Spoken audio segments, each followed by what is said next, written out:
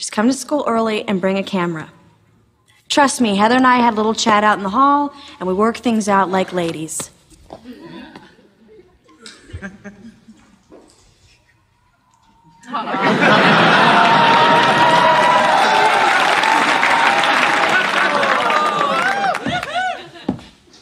Buck, come here, boy.